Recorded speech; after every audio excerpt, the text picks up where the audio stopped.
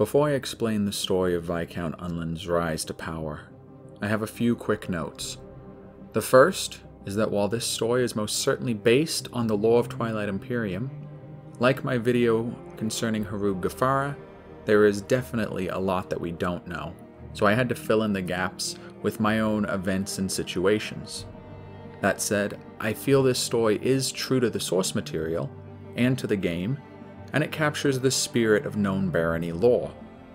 Second, Letnev society is confusing, so let me do a quick breakdown.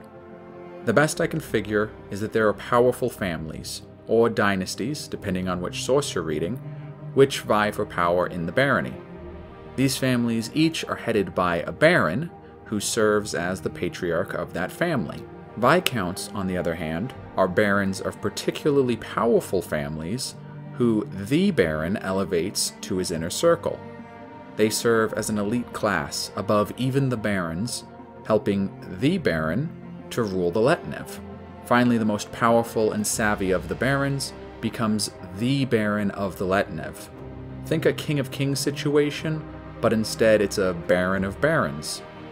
This baron of the Letnev rules all of the barony, but can be overthrown by the other families through treachery, assassination, or other such power plays. Confused yet? I hope not, because we have a story to get to. That of Viscount Unlenn's rise to power.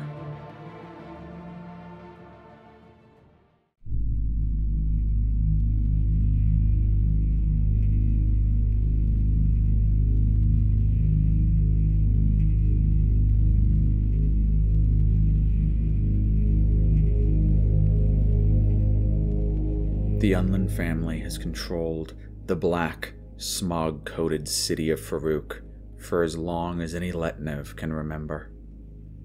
It's said they won it from the failing Samrak family during the final days of the Twilight Wars, and since then, the Unlenns have ruled the Dunland Crater with an iron fist.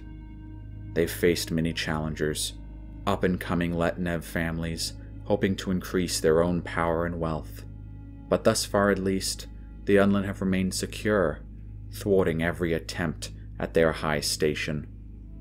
In that security, many Unlenns have simply settled, content in their rule of Arc Prime's only surface city.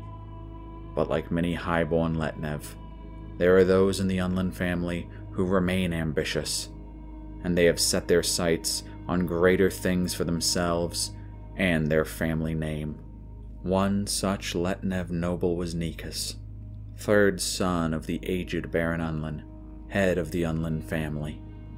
Nikas was born into great comfort and wealth, yet even from an early age he eschewed such luxuries. As a young man, Nikas would often take long, solitary treks across the inhospitable surface of his home world, or would prowl the dark warrens of Farouk with his trained Datar hounds. When at home, he ceaselessly practiced combat of all types, especially fencing, a skill which he would train religiously for much of his life. Nikas was ambitious, and he saw this regimen as a way to back up that ambition with cold steel. By the age of 16, the ambitious Letnev was already rising through the ranks of the barony military. He was made a captain of the Triad class cruiser Savlos at 19, becoming the youngest captain in the Letnev Navy. It was at this same time that he became the sole heir of his father's title, gutting his elder brother with a concealed dagger before pushing him from the airlock of the Savlos. It would be less than a year before Nikas would complete his ascendancy, slipping undetected into his father's bedchamber one night and as per Letnev tradition, slitting the old baron's throat. Now the baron of the Unlenn family, Nikas began to maneuver his way into the upper echelon of Letnev nobility. While his late father may have been satisfied to sit complacent on his family's laurels, Nikas wanted the Unlenn name, his name, to be known and feared throughout the stars. His first move in accomplishing this was to seize political control of the small arid moon Wen, which orbited distant Wren Terra. He did this through a series of extortions, bribes, and assassinations, many of which were carried out by his young nephew Victor, a well placed Semfen agent. Before two years had passed since Nikas Unlenn was named Baron, he had already added another title to his name Lord of Wen. And such accomplishments are not overlooked in Letnev society.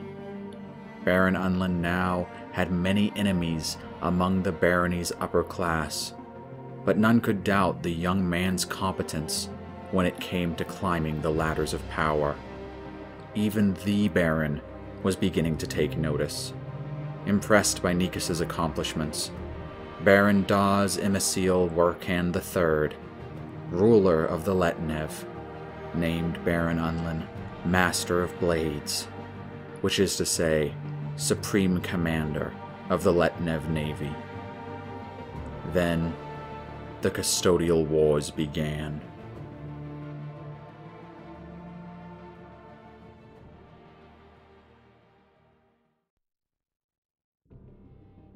It was during these wars that Baron Unlenn truly showed his prowess.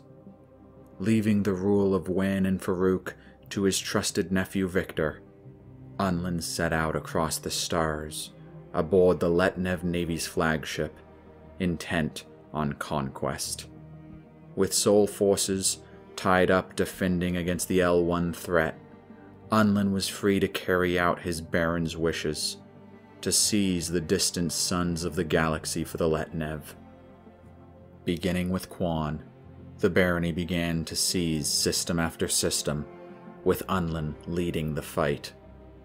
After Quann came Starpoint, then the industries of the Rigel system. No real resistance was encountered, and the Letnev were growing confident, until the arrival of the Naaz-Rokha fleet an armada of over a hundred ships emerged from the Beta wormhole, completely undetected on Barony scanners. Using advanced lightwave deflectors, the Alliance fleet plunged deep into Barony space, intent on seizing Arc Prime.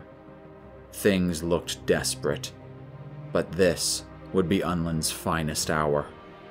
Turning his fleet, Baron Unlin made for Tirana, the only system standing between the Naaz-Rokha and his home. Hard burning his mass drives, he arrived just in time aboard the infamous Arc Secundus, surprising the Naaz-Rokha fleet at dock on Tirana. Blockading the system, Unlenn waited for his whole fleet to arrive before commencing the attack.